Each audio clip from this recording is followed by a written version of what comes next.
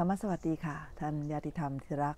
พบกันที่ขึ้นแห่งบุญกับหนูธรรมวลีสีแช่มเช่นเดิมนะคะ วันนี้ก็นำธรรมะดีๆ มาฝากท่านญาติธรรมเช่นเดิม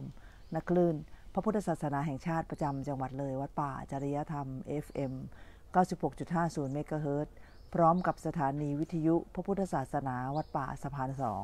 คลื่นแสงธรรมสองใจ FM 95.75เมกะเฮิรตค่ะ รวมไปถึงสามารถติดตามรับฟังรายการธรรมวดีได้ทางระบบวิทยุออนไลน์ที่ w w w วัดป่า .net นะคะ หรือติดตั้งแอปพลิเคชันทางโทรศัพท์มือถือ ค้นหาที่ App Store นะคะพิมพ์คำว่าสมาพันธ์สื่อวิทยุพระพุทธศาสนาอาเซียนค่ะ แล้วก็โหลดแอปมา แล้วก็สามารถเลือกฟังไปที่วัดป่าจริยธรรม หรือวัดป่าสะพานสองได้ค่ะ ก็จะมี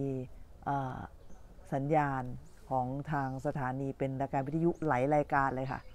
อันนี้ถ้าเกิดรายการธรรมวดีก็ต้องวัดป่าสะพานสองกับวัดป่าจริยธรรมเท่านั้นนะคะตามเวลาประเทศไทยค่ะ8นาฬิกาถึง9นาฬิกาทุกๆวันค่ะ วันนี้รายการธรรมวดีก็เช่นเดิมค่ะ กลับมาที่วัดภูจวงแล้วเมื่อคืนนะคะมาถึงวัดภูจวงเที่ยงคืนครึ่งพอดี เดินทางใช้เวลาในการไปสร้างบารมีต้องบอกว่า ตอนนี้ในวัดภูจวงก็มีงานอยู่นะคะวันที่ 12 พฤศจิกายนนี้นะคะ ก็ทางท่านเจ้าวาดครูบาอาจารย์ ท่านพระอาจารย์มหาลัมพันธ์บุญญามโนเนี่ยก็จะรับตราตาตั้งนะคะเป็นท่านเจ้าคณะอำเภอสมบูรณ์นะคะก็ทางญาติธรรม ลูกศิษย์ลูกหาคณะคณะศิษยานุศิษย์ทุกๆ คนเนี่ยก็ปราบปื้มยินดีเป็นอย่างยิ่ง เพราะว่าเรามีความรู้สึกว่าตำแหน่ง หรือในพุทธศาสนาเรียกว่า อันนี้เรียกว่ายศหรืออำนาจ ถ้าอยู่ในบุคคลที่สามารถทำประโยชน์ให้กับพุทธศาสนาได้ พุทธศาสนาก็จะได้ประโยชน์สูงสุดนะคะก็คืออำนาจอยู่ตรงไหนอะอยู่ที่ผู้นำถ้าผู้นำเนี่ยมีความสนใจเรื่องอะไร เรื่องนั้นมันก็จะได้การพัฒนาตรงนั้น เพราะว่าคนเรามันถนัดไม่เหมือนกันว่ากันไม่ได้ อย่างท่านพระอาจารย์มหาลัมพันธ์ในถนัดบาลี ถนัดวิปัสสนากรรมฐาน เราจึงแอบคิดไม่ได้ว่า วิปัสสนากรรมฐานในอุทัยธานี หรือจังหวัดหรืออำเภอบ้านไร่เนี่ยก็จะมีการพัฒนาขึ้นไปอีกระดับหนึ่ง ซึ่งการพัฒนาในส่วนของวิปัสสนากรรมฐานเนี่ย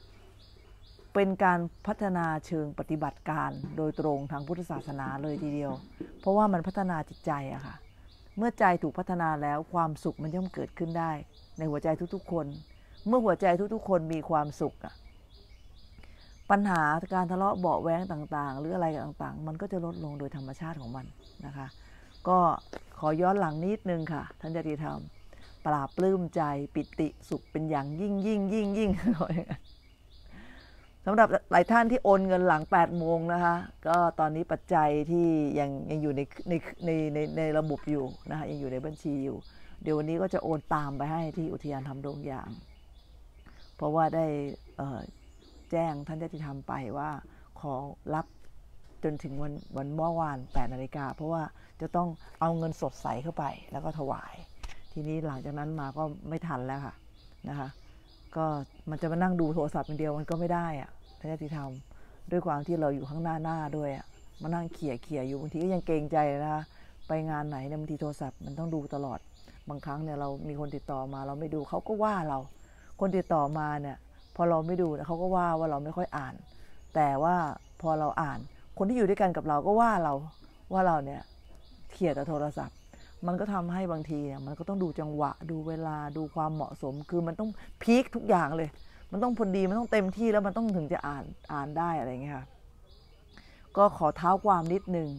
สำหรับการเดินทางไปที่อุทยานธรรมดงยางที่ผ่านมา ก็เมื่อตอนประมาณในพรรษา คุณหมออูสุกัญญาปลื้มเกษรก็ชวนไปทำบุญให้คุณยาย คุณแม่ของคุณหมอ ก็เลยไปกันแล้วก็เจอกันก็เลยคุยกัน ครั้งแรกเห็นอาสนะก่อน ก็เลยเออเราน่าทำอาสนะนะ คุยกับคุณหมออพอคุณหมอทำแล้ว ก็เลยอะคุณหมอ เราช่วงทุดงเนี่ยเราทำอะไรกันดีที่มันแบบอยากจะ ทำให้มันเป็นประโยชน์นะคะก็เลยคุยกันว่าเราบุญแรกเลยเนี่ยพระอาจารย์เนี่ยต้องต้องออพาพระไปที่ภูเก็ต อันนี้คิดกันเองเลยนะคะ โดยที่ไม่ได้ไปอะไรพระอาจารย์ เพราะว่าคิดว่าถวายเป็นส่วนสนับสนุนมันก็ไม่ได้ผิดอยู่แล้วในการทำบุญ เพราะว่าท่านต้องใช้จริง ๆ อยู่แล้ว เพราะเรารู้รายละเอียดอยู่ ก็เลยคุยกับคุณหมอคุณหมอบอกเออดีนะเเออเดี๋ยวเดี๋ยวหลังกระถินคุยกัน ว่าเราจะรวบรวมปัจจัยสักส่วนหนึ่งอะ่ะคือไม่ได้คิดว่ามันจะมาถึงวันนี้หรืออะไร แต่คิดว่าเราจะไป เราจะไปกราบพระอาจารย์ในวันจะไปกราบพระอาจารย์ในวันวันงานปริวาสสักวันหนึ่งก่อนที่จะมีกิจกรรมทุดงจะไปดงยาง แล้วก็จะรวบรวมปัจจัยส่วนหนึ่งตามกำลังเลยคิดว่าจะโพสต์ที่ Facebook นั่นแหละ แต่ว่าใครจะช่วยขนาดไหนเนี่ยเราก็ไม่ได้ไม่ได้ไปคาดคั้นหรือไปกะเกณฑ์หรือไปเจาะจงว่าจะต้องทำนะจะต้องทำนะ แต่เราเอาคนที่แบบคิดว่ามันสบายๆอะสสมัครใจสบายๆก็โพสต์ไป ปรากฏว่าได้เงินมาเกินคาด ได้มาประมาณ 68,000 บาทรวมของตัวเองด้วยพันหนึ่ง สวัสดีค่ะพี่ปี สวัสดีค่ะคุณตั้มสวัสดีค่ะคุณต้อมสวัสดีทุกทท่านค่ะนะคะเอาบุญมาฝากค่ะกำลังจะเล่าอยู่ ในส่วนของ Facebook ที่ส่งมาเนี่ยก็มีพี่ปีเป็นต้นหลักให้ คือ 1 0,000 บาทเลยพี่ปีเจอกันงานปริวาสวัดปู่จวงก็โอนเงินมาให้ บอกไปไม่สะดวก พี่ปีก็โอน เอ้ยไม่ใช่ค่ะ พี่ทิมนะพี่ทิม พี่ทิมชติกาพี่ประนตก็โอนมา เราก็ได้ต้นบุญแล้วก็พี่อโนไทยได้หมื่นสามพันห้าร้อยหลังจากนั้นมาก็โพสต์ประมาณสามครั้ง ได้ปัจจัยรวมกันทั้งหมด 68,000 บาท คุณหมอบอกตั้งใจว่าจะไงไงก็ต้องตกให้ถึงแสน เราก็โอ้แสนหนึ่งมันก็แบบชื่นใจแล้วว่าคือได้มีส่วนมันมันอยู่เป็นน้ำเป็นแบบเป็นชิ้นเป็นอันหน่อย คุณหมอบอกยังไงก็ต้องตกถึงแสนอาจารย์บอกโอ้โหคุณหมอสาธุค่ะ คุณหมอก็ใส่เข้ามาอีกห้าหมื่นเป็นเป็นแสนหนึ่งหมื่นหนึ่งแสนหนึ่งหมื่นแปดพันบาท รวมจากหกหมื่นแปดทีนี้ก็มีคนโอนเข้ามาอีกตอนเช้าวันรุ่งขึ้นโพสนาทีสุดท้ายคนโอนเข้ามาอีกประมาณสี่พันกว่าบาท แล้วก็ได้ในส่วนของทางแม่ปทุมแม่ทุม แล้วก็มีของน้องปิงปิง นางฟ้าปิงปิงของเราประภาพร แล้วก็ลุงน้อยมาเติมอีก ตอนที่ลุงน้อยมาเติมนี่ไม่ได้บวกแล้วนะคะเป็นรวมอยู่กับอ๋ออ๋อบวกบวกในส่วนของตอนที่อยู่ที่ที่ที่ลานทำแล้ว ได้หมื่นตอนนั้นได้หมื่นห้าได้แสนห้าก็ถือว่าโอ้โหก็ยังดีใจแล้วอะแสนห้าที่ไปนั่งใกล้ๆคุณแม่ คุณแม่ก็เตรียมตัวมาแล้ว เราก็คุยกับคุณหมอ คุณแม่บอกว่า คุณแม่ชีทศพร อาจารย์แม่ชีทศพรบอกว่า แม่จะช่วยพระอาจารย์สิบคันรถไอ้ปัจจัยที่เราเอาไปก็ประมาณแสนห้าก็ได้มาสามคัน คือตีไปสองคัน เพราะแม่ช่วยสองคันรถท่านญาติธรรมค่ะ สิ่งที่อยากจะบอกก็คือว่า ความจริงเนี่ยมีพี่อีกท่านหนึ่งนะคะที่เป็นบุคคลที่เป็นต้นบุญจริง ๆ เลยเนี่ย คือพี่เอียดปารณีนะคะ พี่เอียดเนี่ยก็คุยกันว่าอะพี่ให้น้องอหาปัจจัยส่วนเนี้ย แล้วที่เหลือเนี่ย ก็ไม่ต้องกลัวขาเท่าไหร่นะเดี๋ยวพี่ตบเต็มเราก็เฮ้ยดีใจแล้วพี่เอียดแบบยังไงไง แล้วก็พระอาจารย์ก็แบบว่าสบายอะ่ะไม่ต้องหนักใจกับเรื่องนี้ไงท่านจะได้เอาเวลาเนี่ยไปสอนไปดูแลพระเนรให้เต็มที่ อยากจะเป็นส่วนหนึ่งที่เบาเบาแรงครูบาอาจารย์ ก็ปรากฏว่าพี่เอกก็เลยบอกอะถ้าเกิดอย่างนั้นเนี่ยพี่ตั้งใจแล้วก็โคคุยกันเมื่อวานตอนเย็น แล้วก็อาจจะมีการ คุยกับพระอาจารย์นะคะ คือบุญอะมันเต็มจนเต็มแบบเรียกว่าเริ่มต้นที่ดีอะค่ะ ก็จะได้มีปัจจัยบางส่วนหนึ่งไปช่วยเหลือของกิจกรรมต่างๆ ในโครงการทุดง ก็เดี๋ยวพี่เอกก็คงจะคุยกับทางพี่ตู่คุยกับทางทางทางพระอาจารย์ ก็ต้องขออนุโมทนาบุญพี่เอียดจริงๆพี่เอียดต้นบุญเลยนะคะพี่เอียดปารณีนะคะก็ต้นบุญเลย เพราะว่าคิดก่อนเลย คิดก่อน แต่ก็ให้เปิดโอกาสให้น้องหาทุน ปรากฏว่าคุณแม่ชีมาเติมเต็มอีก โอ้อะไรมันจะสมบูรณ์ขนาดนี้ ใครได้ร่วมบุญงานนี้ต้องบอกว่ามีพี่น้องมีครูบาอาจารย์ ท่านมาเติมบุญเนี้ยเต็มมาก ๆ เต็มสุดๆ เต็มจนไม่เต็มยังไง มันเป็นบุญเต็มอะค่ะแล้วตัวเองก็ดีใจว่าส่วนหนึ่งเนี่ยมันได้มีส่วนร่วมกับพ่อแม่ครูบาอาจารย์ที่ท่านมีบารมี พี่ที่มีบารมี แล้วก็มีหลาย ๆ ท่านคุณหมอสุกัญญาเริ่มต้นแพ็คคู่มาก่อน เริ่มต้นกันก็ก็แก๊กคือไม่คิดว่ามันจะกลายเป็นเป็นบุญที่มีผู้ใหญ่ใจดีหลาย ๆ ท่าน ลุงน้อยนะคะและหลาย ๆ ท่าน พี่ๆน้องๆ แม่ๆมารวมกันจนมันกลายเป็นพลังของบุญพระอาจารย์ก็เลยบอกว่า นะคะพระอาจารย์ก็เลยบอกว่า เนี่ยเอ่อมันไม่มีสายจริงๆ แล้วมันก็เป็นพวกเดียวกันทั้งหมดก็คุยกันวันก่อนตอนที่ไปกราบพระอาจารย์เราก็เลยบอกว่าอ๋อพระอาจารย์ มันเป็นสีสันค่ะหมากวนมันเป็นสีสันค่ะ บอกพระอาจารย์ว่ามันเป็นสีสัน จริง ๆ แล้วเนี่ยเราก็สายเดียวกันละค่ะแต่เราเราเราทำเป็นสีสันขึ้นมา สร้างพลังขึ้นมากัน เรารวมตรงนั้นรวมตรงนี้มันก็ต้องทำแบบนี้ค่ะ มันถึงจะเป็นกิจกรรมที่จิตมันก็เปิด มีความสุขต้องบอกไว้ก่อนเลยนะคะว่า มีเรื่องจะเล่าเรื่องหนึ่งซึ่งจริงๆแล้วเนี่ย หลายคนบางทีอะดูประมาทแต่ความจริงๆไม่ได้ประมาทนะ มันคงจะเป็นปิติ ก่อนที่จะเดินทางไปที่อุทยานทำดงยาง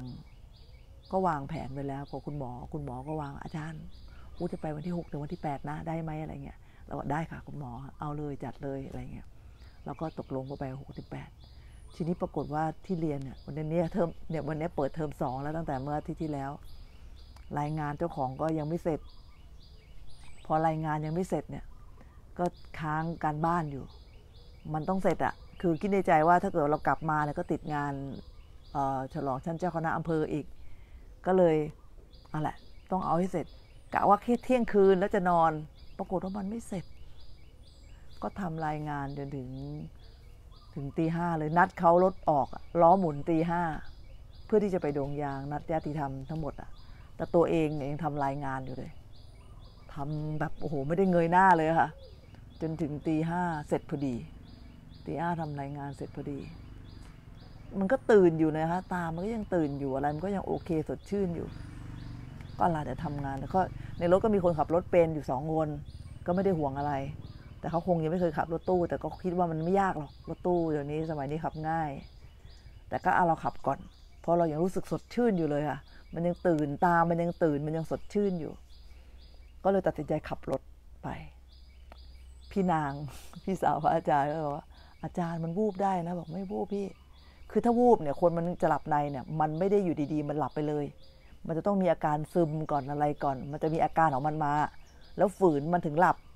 แต่อันเนี้ยมันไม่ได้ฝืนอะไรเลย คือมันมันตื่นตา มันตื่นใจมันตื่นหมดเลย ก็เลยบอกพี่ไม่ต้องเป็นห่วง ท่านญาติธรรมเชื่อไหมว่าทำรายงานจนถึงตีห้าแล้วก็ขออนุญาตเขาเลทหนึ่งชั่วโมง นัดเขาล้อหมุนตีห้าขอหนึ่งชั่วโมงเก็บกระเป๋าอาบน้ำทุกสิ่งทุกอย่างภายในหนึ่งชั่วโมง ไปอาบน้ำแต่งตัวหกโมงล้อล้อหมุน ขับรถไปจนถึงอุทยานทำโดงยาง ไม่ง่วงเลย นิดหนึ่งก็ไม่ง่วง หน่อยหนึ่งก็ไม่ง่วง มาตรจารย์ตัวเองเหมือนเอ๊ะคอยว่ามันจะง่วงด้วยนะ ขับรถไปถึงเที่ยง อืมเดี๋ยวแดดออกมันคงง่วงเลยเดี๋ยวจะให้เขามาขับรถแทนเอ้ยมันก็ไม่ง่วง ขับไปถึงบ่ายสามเดี๋ยวบ่ายสามมันคงง่วง เพราะว่าแดดมันเริ่มออกแล้วสองแล้วแล้วเราคงง่วง เอาบ่ายสามก็ไม่ง่วงอ้าวสรุปว่าไม่ง่วงเลย ขับรถถึงดวงยางเลยค่ะนะคะจิตมันปิตินะคะ ก็สวัสดีค่ะพี่ทีม พี่ทีมเข้ามาแล้วต้นบุญต้นบุญนะคะก็ค่ารถยานพาหนะพระในวันเริ่มต้นที่จะไปส่งที่ภูเก็ต สมบูรณ์มากนะตอนนี้เนี่ยพี่ทีมคะได้ครบหมดเลยสมบูรณ์เลยนะคะโอ้อนุโมทนาสาธุทุกทุกท่านเลยค่ะ สวัสดีค่ะพี่ยุอยู่ที่ไหนเอ่ยนะคะก็พี่ยุบอกว่า สดสใสจังไม่เหมือนคนอดนอนเมื่อคืนนอนแล้วค่ะเมื่อเช้าตื่นสายอยู่เมื่อเช้าตื่นประมาณตีห้ามาถึงมาถึงเอ่อมาถึงมาถึงวัดภูจวงอะเที่ยงคืนครึ่ง กว่าจะได้นอนก็ตีหนึ่งครึ่งตีหนึ่งครึ่งได้นอนแล้วก็ตื่นตีห้าตีห้ากว่า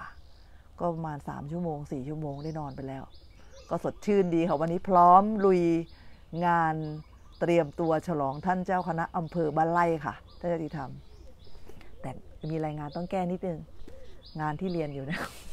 เพื่อนเพื่อนตีกลับมาบอกพี่พี่ทำผิดเยอะเหมือนกันนะคนอื่นก็แก้ให้พี่ไม่ได้ด้วยพี่ต้องแก้เอง ก็เลยรีบส่งมาเลยค่ะเขาส่งมาตั้งแต่เมื่อวานนะคะอ๋อพี่นี้พี่ยุทำงาน สาธุค่ะพี่ยุอนุโมทนาบุญนะคะคุณนายสะอาดค่ะ ไปที่ไหนใครๆก็คิดถึงนะคะต้องบอกว่า คือเราต้องบอกว่าคนดีเนี่ย ไปอยู่ที่ไหนเนี่ยใครๆก็คิดถึง เพราะว่ามันอยู่ในใจอะแต่ถ้าเกิดคนที่แบบนิสัยไปไหนสร้างความแตกแยก สร้างความเล้าฉาน มีปัญหาตลอดไปไหนใครๆก็กลัวนะจริง ๆ เรื่องนี้เนี่ยยอมรับเลยว่า คนดีเนี่ยไปที่ไหนเนี่ยคนอื่นก็มีความสุขอะคนที่ทำให้คนอื่นมีความสุขอะเราก็อยากจะได้ความสุขอะเราก็จะคิดถึงคนคนนั้นนะคะ อย่างหลาย ๆ เหตุการณ์ที่ตัวเองผ่านมาเนี่ยบางคนเนี่ยพอเราเจอปุ๊บเนี่ยปรากฏว่า เจอปุ๊บโอ้โห มีแต่ปัญหามีแต่เรื่องราวแตกแยกอะไรเงี้ยโอ้โหเราก็อันนั้นน่ากลัวละมันไม่คิดถึงละมันหนีก็ไม่ได้ โดยที่เราเนี่ยเป็นอุบาสิกาทางพระพุทธศาสนา เรารู้อยู่แล้วว่ากรรมคืออะไร มันหนีไม่ได้ ทั้งๆที่รู้อยู่ว่าคนคนนี้เป็นคนยังไง เราต้องทนจนมันหมดกรรมกันไปอะโอ้ยท่านจติธรรม ตอนพูดเนี่ย มันก็พูดง่าย แต่ว่าตอนที่มันทำจริง ๆ เนี่ย ตอนที่ตาของเราเนี่ย มันไปเห็นคนที่มันไม่ใช่อะพุทธศาสนาบอกแบบนี้มันคือคนไม่ดีอะ แต่เราต้องเจอ จิตที่มันรู้สึกว่าผิดอะ มันมีอยู่ในหัวใจอะเราได้ยินในสิ่งที่เขาพูดอะเมื่อก่อนจิตมันจะตกลงไปเลยนะ มันจะไม่ มันจะมองอะถึงมันจะพยายามทำใจถึงมันจะไม่ว่าอะไรใคร แต่มันก็มอง แต่เดี๋ยวนี้เนี่ย มันกลายเป็นว่า เฮ้ย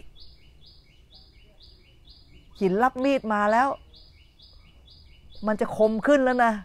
มันเจอแบบนี้มาอีกแล้วเนี่ย ตั้งสติดีๆทำยังไงให้ใจเนี่ยมันใส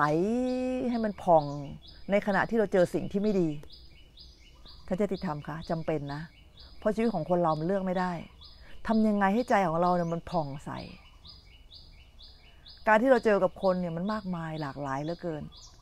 มันเป็นไปไม่ได้เลยที่เราจะเจอแต่สิ่งที่ดีๆ พระพุทธเจ้าสอนให้เราไม่คบคนพาลก็จริง สอนให้เราครบบัณฑิต สอนให้เราบูชาผู้ที่ควรบูชาก็จริง แต่การไม่คบคนพาลไม่ได้แปลว่าพระองค์สอนให้เราลังเกียจคนพาลระวังหัวใจนะคะ อย่าไปรังเกียจคนพาลคนพาลก็คือคนที่ไม่มีปัญญาในพุทธศาสนาเนี่ย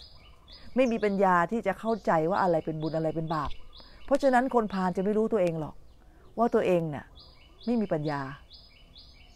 เขาจะเข้าใจผิดอยู่เสมอ ว่าเขามีปัญญา คนกลุ่มนี้จะเป็นแบบนั้น เพราะฉะนั้นเราจะไปทำอะไรเขาไม่ได้ แล้วจะเดือดร้อนอีกต่างหากเพราะฉะนั้นการที่เราจะเจอคนพาลเนี่ยแล้วจิตของเราเนี่ยมันผ่องใสเนี่ยมันไม่ใช่เรื่องง่าย แต่ถ้าเกิดว่าเราทำได้ ชีวิตของเราเนี่ยมันจะมีความสุขตลอดไปเลยเขาเรียกว่าชีวิตมันมีภูมิคุ้มกันค่ะท่านจติธรรมนะคะก็วันนี้ก็เป็นอีกวันหนึ่งที่หลังจากที่โอ้โหเรียกว่า พาคนวัดก็ว่าได้ ก็จริงๆก็เก่งใจท่านพระอาจารย์มหาลำพันธ์อยู่นิดนึงเหมือนกัน ก็นัดกันแล้วครั้งแรกก็ไม่ทราบกันว่า ไม่ทราบกันว่าท่านพระอาจารย์เนี่ยจะได้ตราตั้งท่านเจ้าคณะอำเภอวันไหน ก็นัดกับแม่ชีที่วัด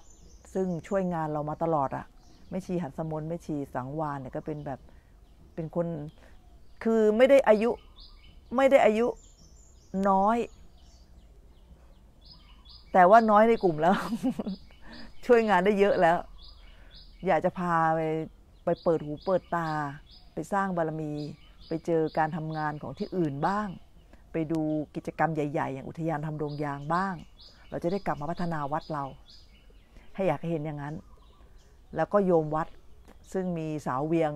สาวเวียง ตื่นยังไม่รู้ ตื่นแล้วมั้งเมื่อเช้าเมื่อคืนเห็นโพสต์อยู่นะคะสาวเวียง น้องเวียง ก็ช่วยงานวัดดีมากต้องบอกอย่างนั้นหลาย ๆ ท่านก็แม่ครัววันนี้น่าจะเห็นกันแล้วค่ะ แล้วก็มีญาติธรรม อันนี้เป็นญาติธรรม พี่นวรัตน์แล้วก็พี่เปี่ยมหรือพี่ผักเขาเรียกกันพี่ผักดอง พี่วิวิวิวันวิสา แล้วก็พี่สาหร่าย เป็นโยมวัด โยมวัดแล้วเขาอยากให้พาไป ก็พาเป็นไปแล้วก็พี่นาง พี่สาวของท่านพระอาจารย์แล้วก็หลานน้องเกดพาไป อยากให้ไปเห็น ก็เกรงใจพระอาจารย์อย่างที่พูดอะคะว่าโอ้โหเอาแต่คนสำคัญในวัดไปพอเราไปปุ๊บเนี่ยงานที่วัดมันก็เลย เราก็ห่วงนะคะ แต่ว่าคิดในใจนะขอให้บุญบารรมีที่เราทำเนี่ยนะขอให้บุญของเราเนี่ย มันเป็นบุญที่สนับสนุนส่งเสริมให้กิจกรรมเนี่ย ที่เราจะกลับมาตรงนี้เนี่ย มันประสบความสำเร็จมันได้ดี บางทีเนี่ย จิตของเราเนี่ยมันผูกอยู่แค่เฉพาะที่ของเจ้าของเนี่ย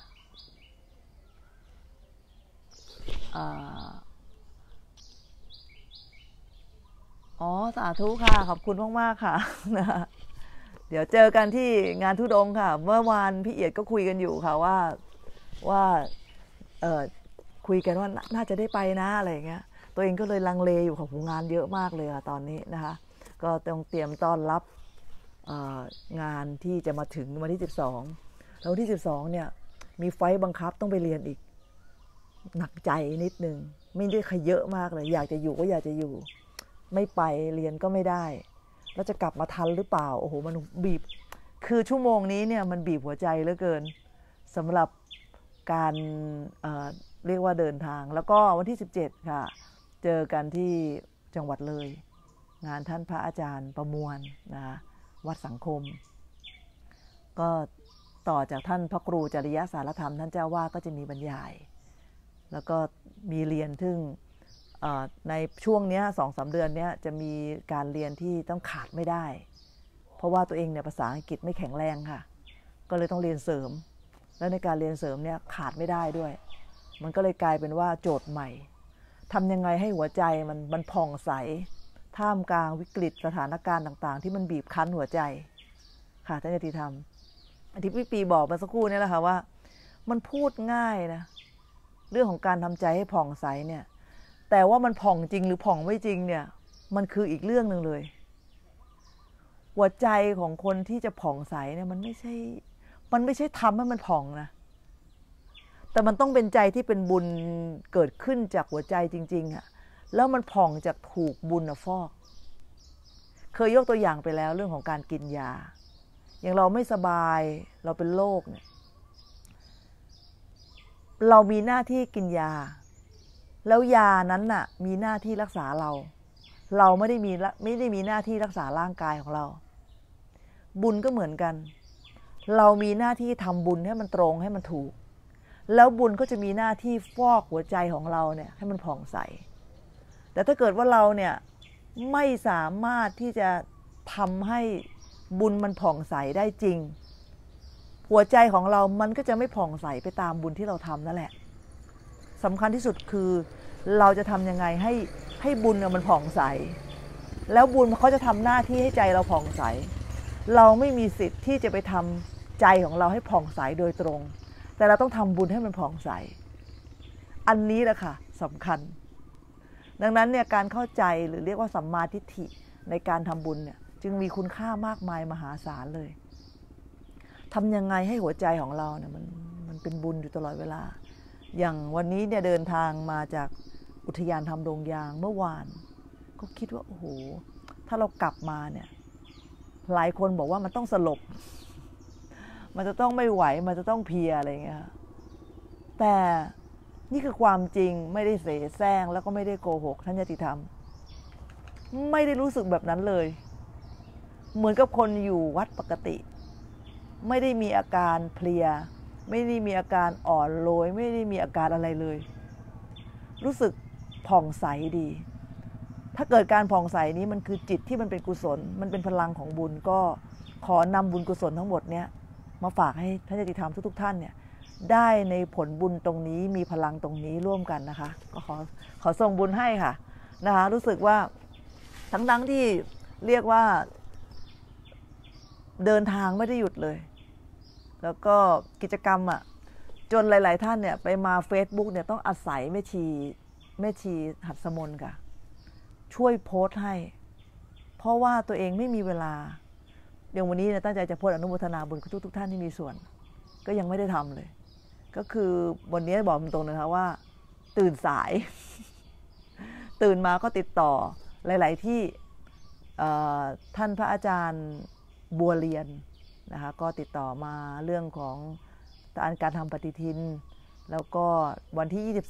23 ถึงวันที่ 29 เราจะมีกิจกรรม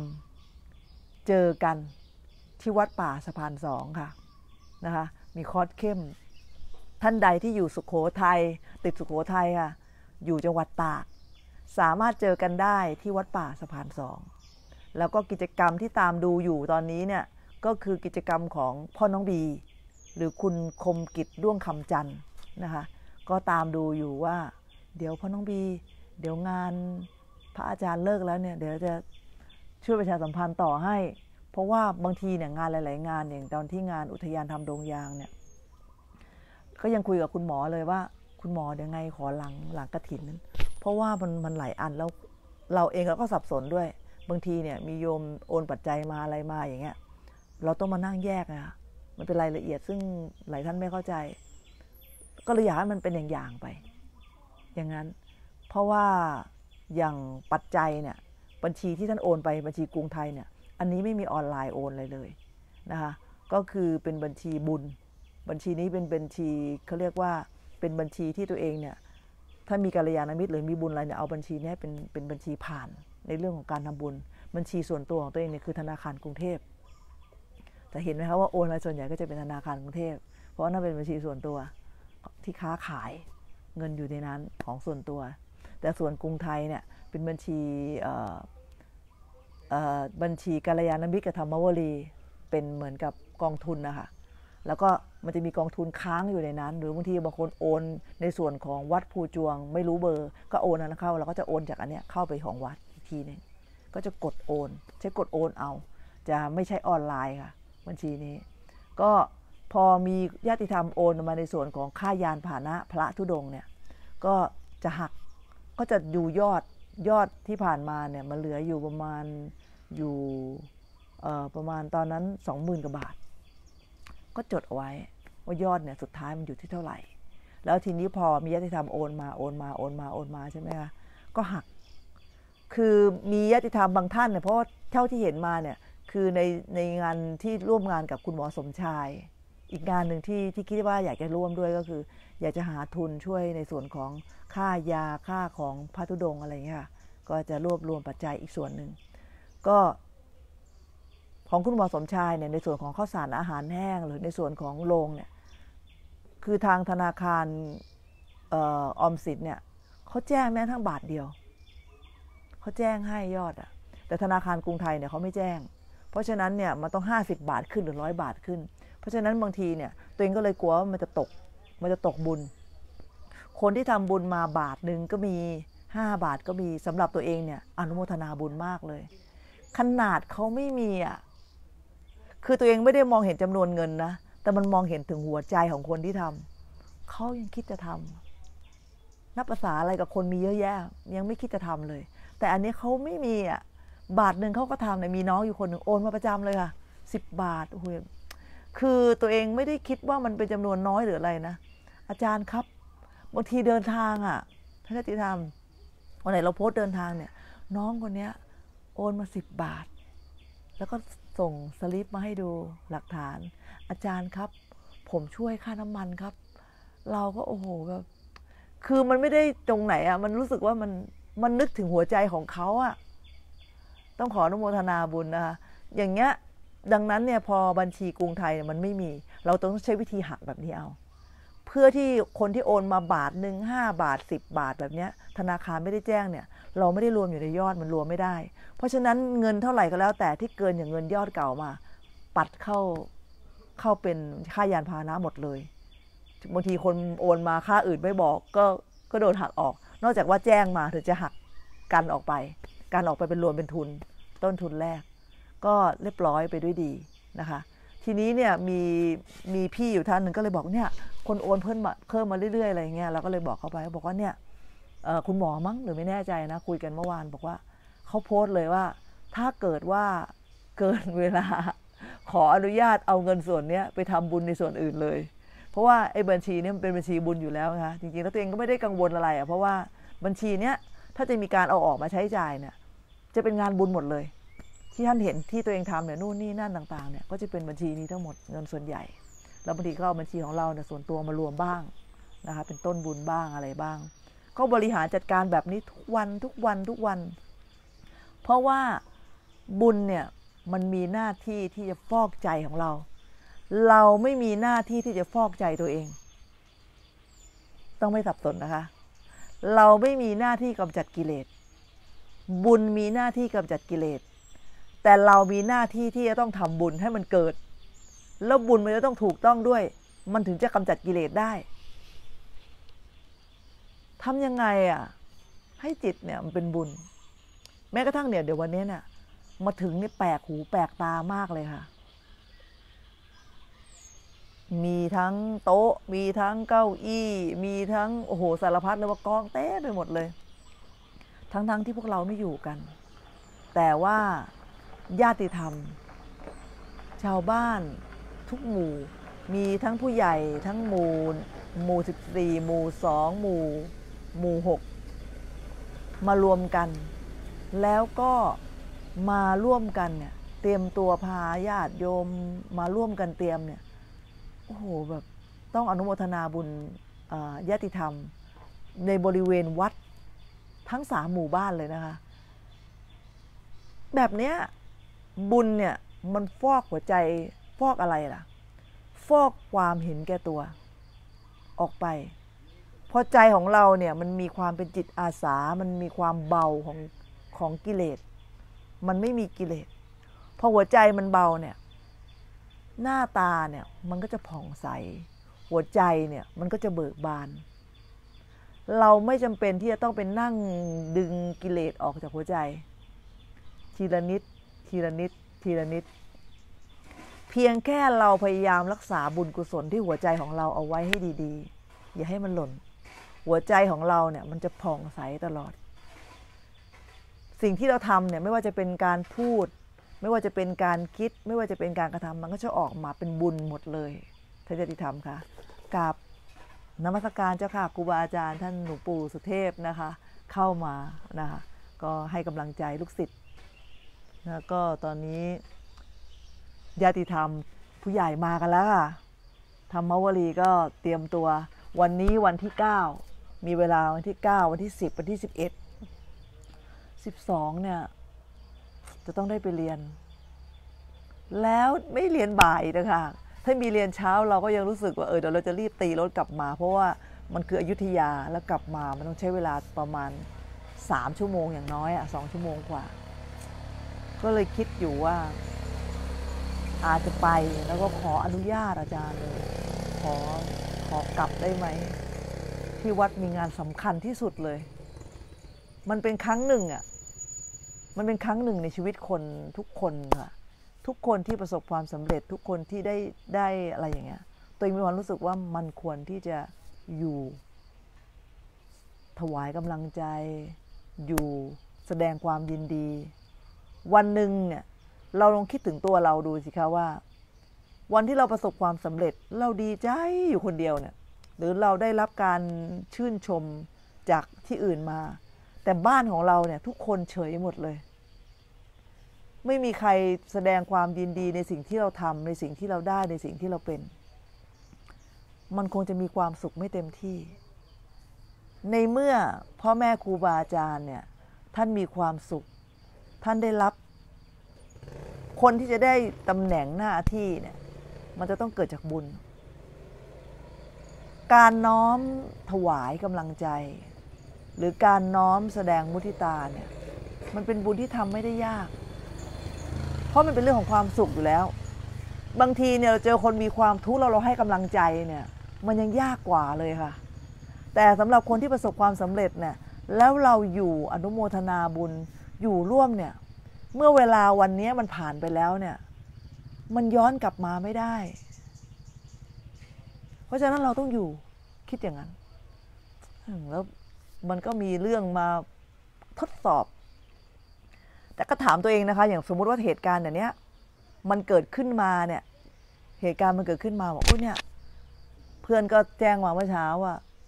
อาอาจารย์ที่เพื่อนก็เรียกหนูว่าอาจารย์บอกพี่ไม่ต้องเรียกอาจารย์หรอกเพราะว่าพี่ไม่ได้เป็นลูกศิษย์หนูหนูก็ไม่ได้ผูกความเป็นอาจารย์ไว้ตลอดหรอกนะ อยากจะสบายๆเหมือนกัน แกก็ลืมอะอาจารย์เออมันขาดไม่ได้นะ วันที่สิบสองในวันเริ่มต้นวันแรกด้วย ที่จะเรียน เราก็โอ้โหแบบเหรอมันทำให้เราเนี่ยเหมือนกับมีอะไรมาทดสอบว่าเอาละ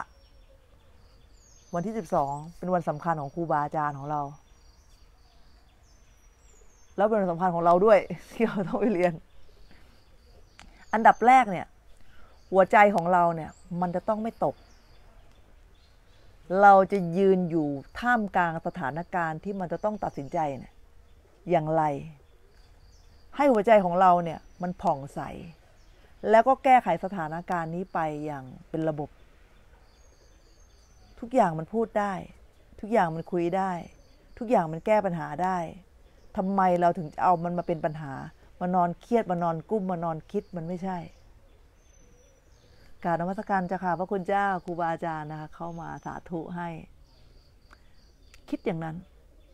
เพราะหลายท่านบางทีเนี่ยเราทำอะไรอยู่เนี่ยพอบางครั้งเนี่ยมันเกิดมีสถานการณ์บางอย่างมาขัดมาสะดุดเราเนี่ย เราชอบจะเศร้าหมองทำยังไงดีดูสิมันไม่มีมารประจนอย่างงู้นอย่างงี้บ่นไป จิตของเราเนี่ยมันก็เสีย จิตเราเนี่ยมันก็เสีย ดังนั้นเนี่ย ต้องตั้งสติดีๆ หายใจลึกๆ เมื่อมันมีปัญหาขึ้นมา ที่เราจะต้องแก้ไข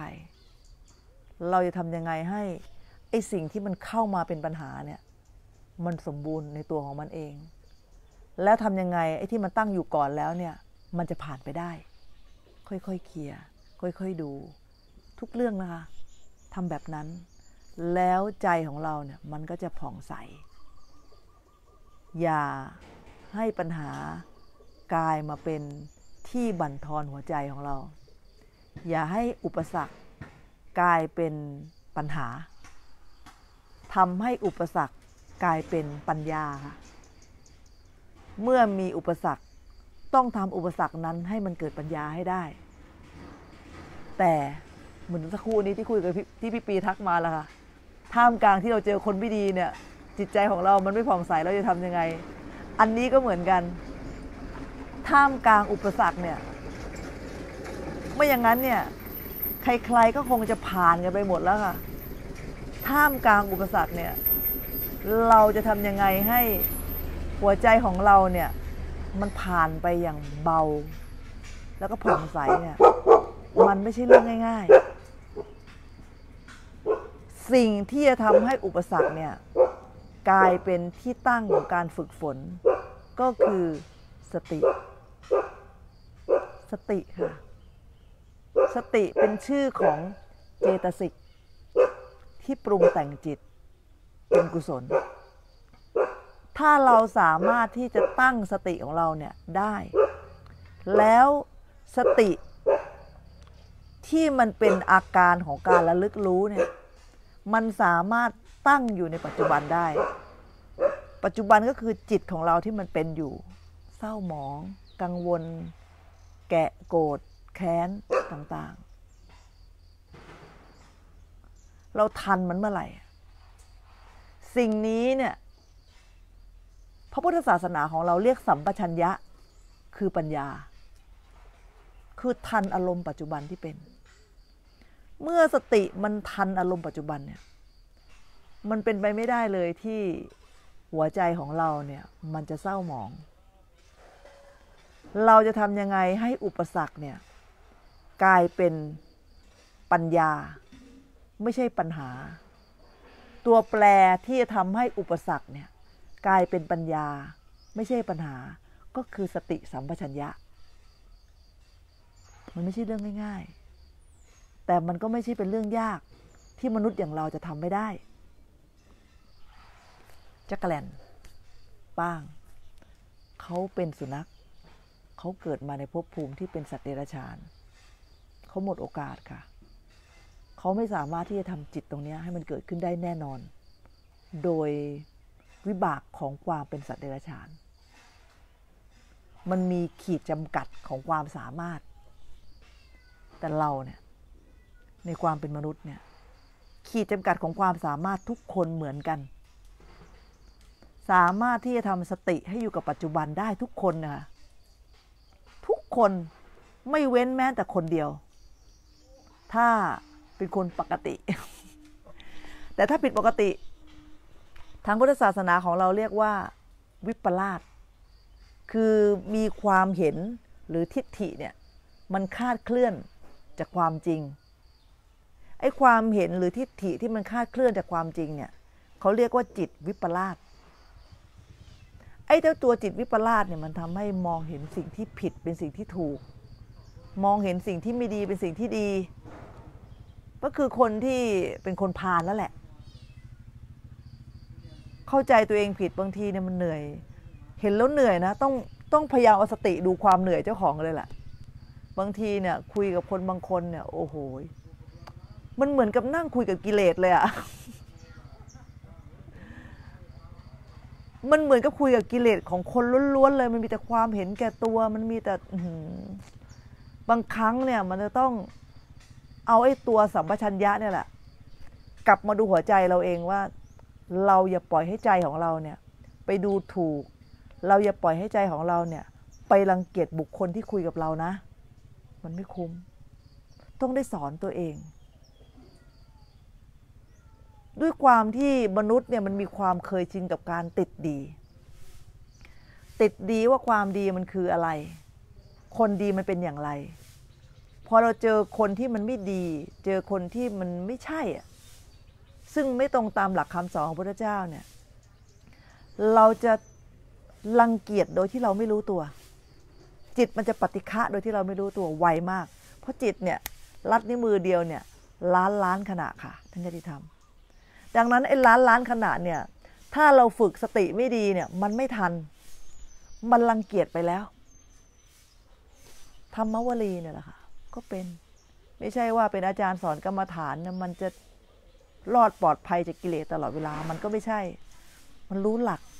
แต่มันอยู่ที่ความชำนาญอะ่ะ มันก็เราทำกับข้าวอะ่ะ เรารู้ว่าการย่างปลาเนี่ยต้องทำยังไง